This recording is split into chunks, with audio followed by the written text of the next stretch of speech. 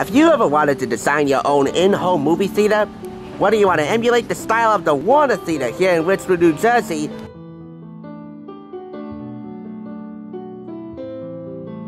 or recreate the interiors of your own intimate neighborhood movie house, what I have for you today might be just a one-of-a-kind book to take some inspiration from, as the curtain rises on this edition of the Thrift Store Rundown, bringing Hollywood home on a budget next.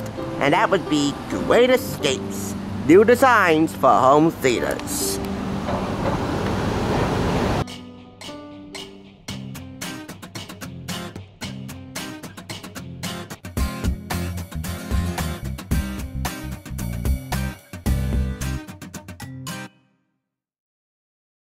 Welcome! A home theater is supposed to be a comfortable, relaxed environment that offers a cinematically resplendent movie viewing experience, easily on a par with traditional neighborhood movie houses of yesteryear. None of that cineplex or multiplex nonsense we've grown accustomed to over the past few years, even though there's nothing wrong with that.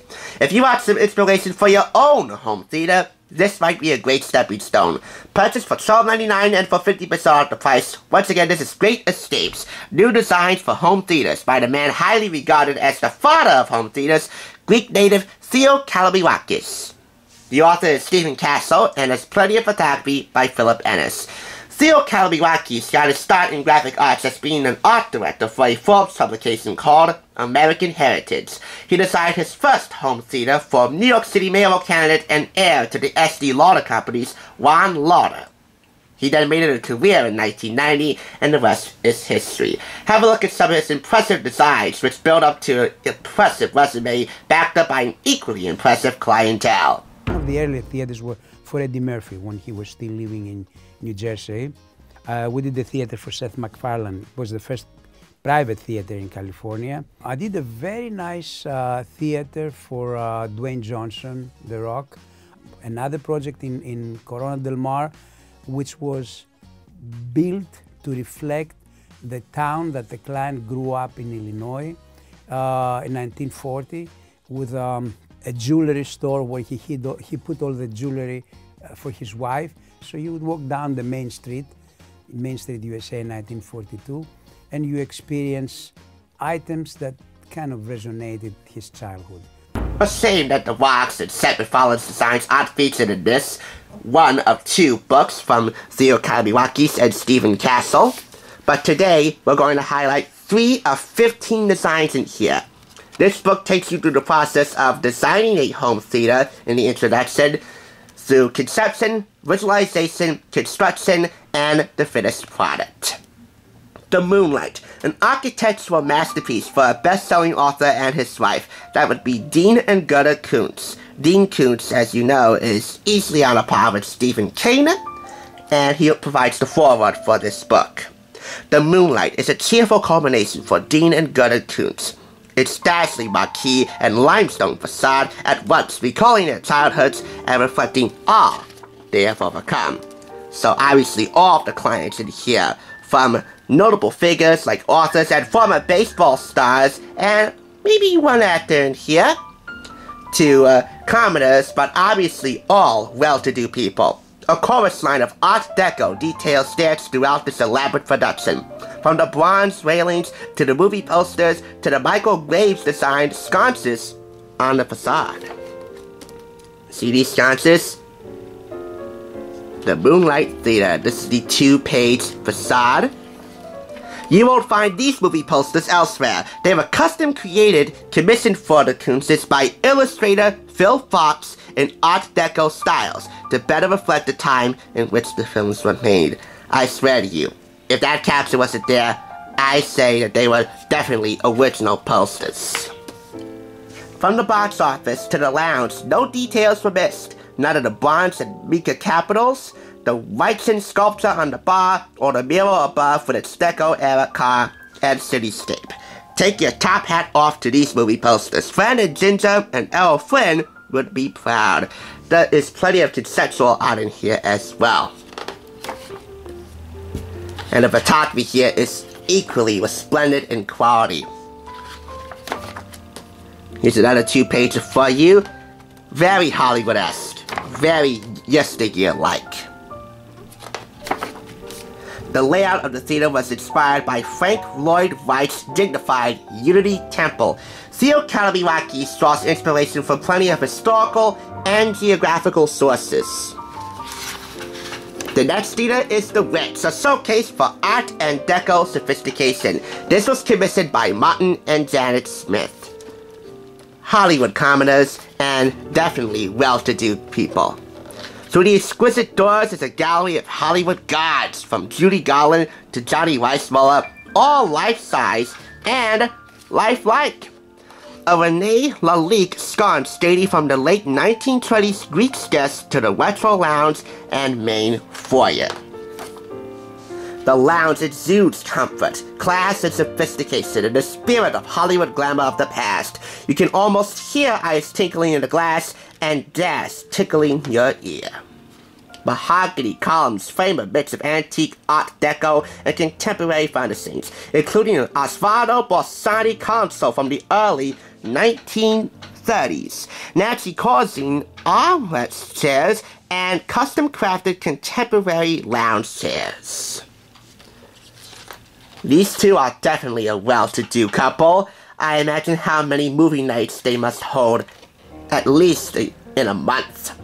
The Monkey Bar mural by Art Booth provides some color, whimsy, and a sense of pure innocence and fun, while the terrazzo floor retains deco styling. The owner's passion for art is also showcased in a collection of valuable pieces displayed in the powder room. The theater shows more of a flair for the dramatic, with its intricate backlit ceiling and column grills.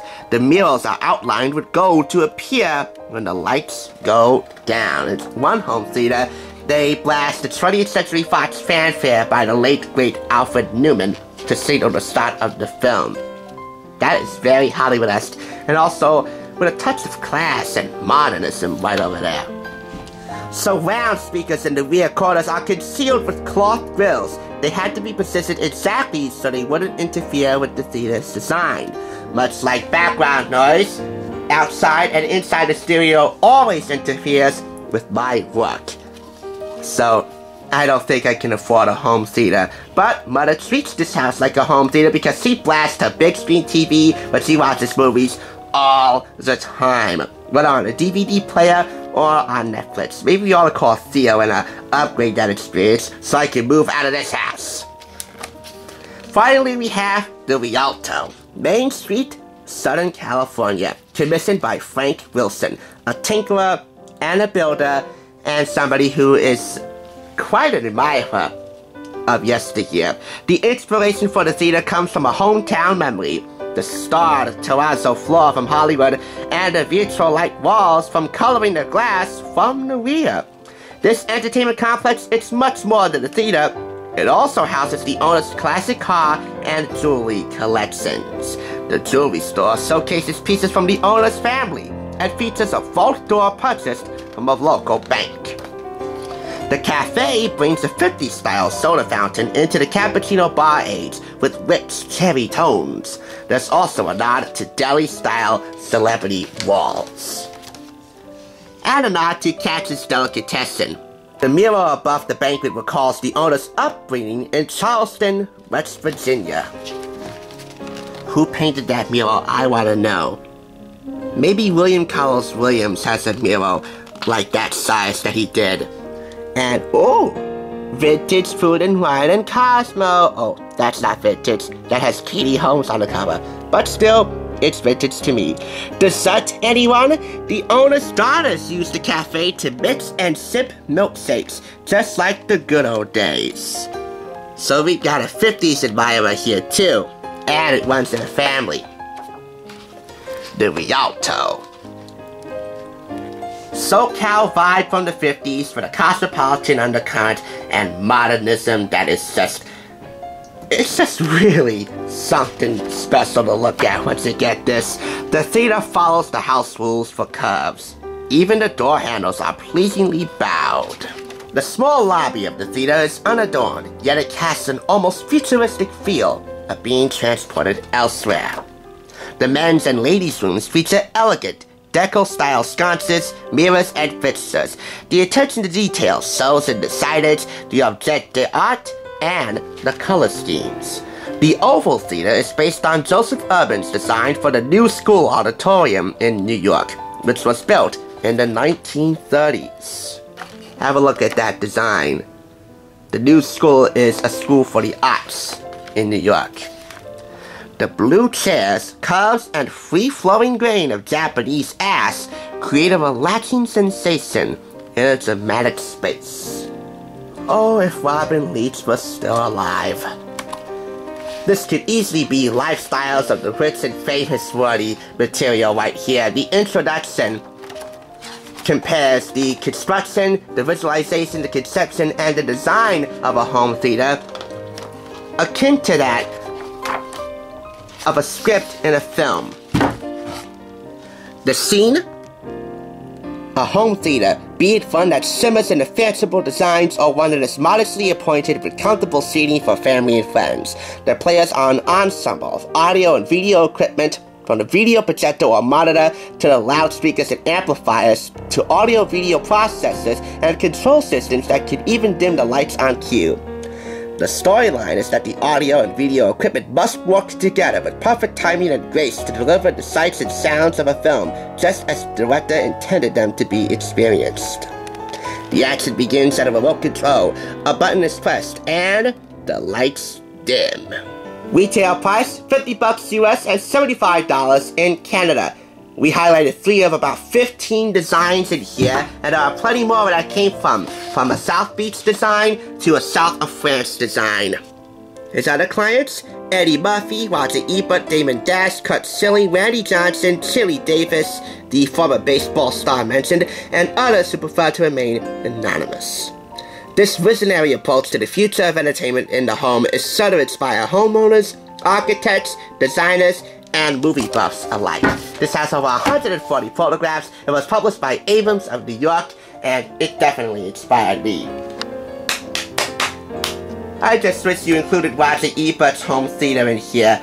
That would have given it an extra half a clap. But I think four and a half out of five claps will definitely uh, tempt you to pick this up.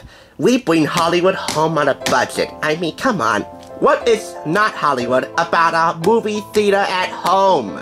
This is the second of two Theo Kalomirakis's home theater design books, the first being Private Theaters, and maybe in there we'll find Roger Ebert's design or The Rocks or Seven Fallons, and if not, there needs to be a third book. I'm definitely inspired, and I know Mother, with her big screen TV and her movie viewing habits, so gobbled this up in no time. Thanks for watching. That's the Thrift Store Rundown, and I will catch you on the flip side. The thrift store rundown will return to Richmond October 8th for a very special occasion, of which I can't specify just yet. Let's just say that it's in good taste.